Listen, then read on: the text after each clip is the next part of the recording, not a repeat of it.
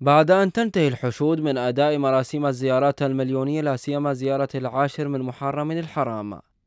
يشرع خدمة المولى أبي الفضل العباس عليه السلام بغسل الحرم والصحن الطاهرين إلى جانب تدابير التعفير والتعقيم التي جاءت هذا العام إضافة إلى الأعمال التي تقوم بها الأقسام المعنية في ظل تفشي جائحة كورونا.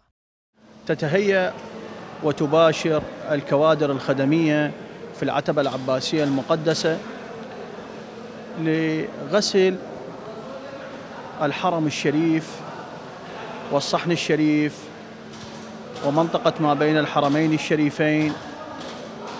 وهذه الكوادر عندما تباشر هنالك مراسيم لأداء زيارة المولى أبي الفضل العباس عليه السلام للاستئذان ببدء الدخول والمباشرة بغسل الحرم الطاهر. وكذلك بعدها تقرأ زيارة عاشوراء. مراسيم ولائية وعزائية. باشرت بها الملاكات متخذين من الليل فرصة لإجراء أعمال التنظيف.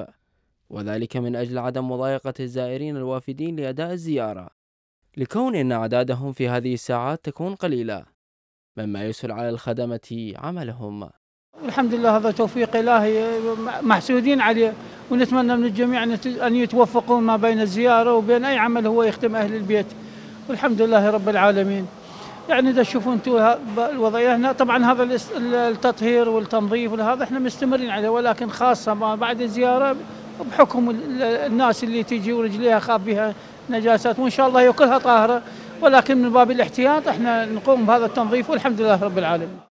ضمن الخطط الخدمية التي تضعها الأمانة العامة للعتبة العباسية المقدسة في زيارة عاشوراء هي غسل وتنظيف الحرم والصحن الشريفين بعد انتهاء المراسيم العزائية لعودتهما على ما كان عليه قبل الزيارة.